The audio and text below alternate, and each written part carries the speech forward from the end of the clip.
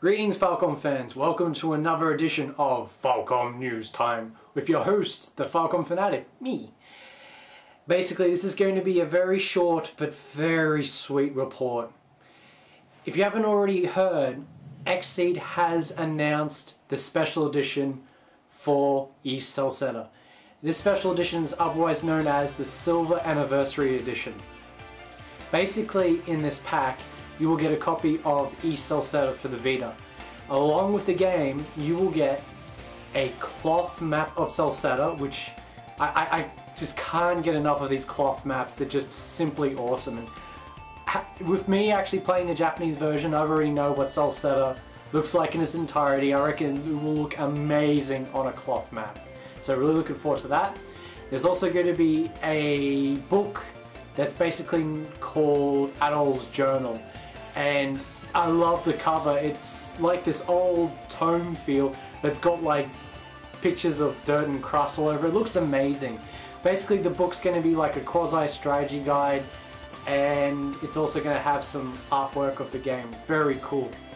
The next thing that I just think is absolutely amazing is usually with these Ys Special Editions you get a soundtrack.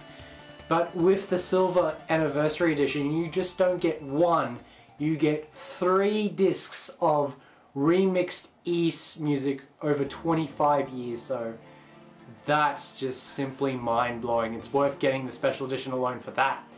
However there was one last little item included in this pack. When I saw this my eyes nearly popped out of my head because if there's anyone in the gaming industry that thinks outside the box to what to what to give their fans, it's Xseed.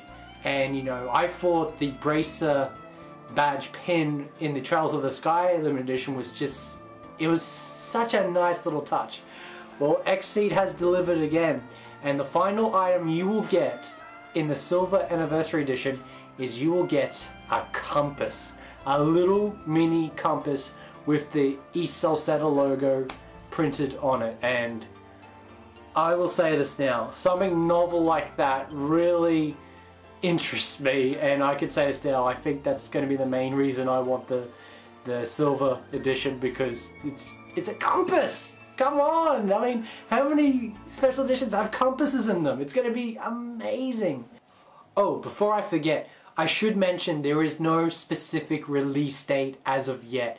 It's basically just been labeled as holiday release. So it will probably it'd be interesting to have a Ys game released around Christmas. I'm kind of excited, kind of nervous because there could be um, a chance that I could be moving at the end of the year.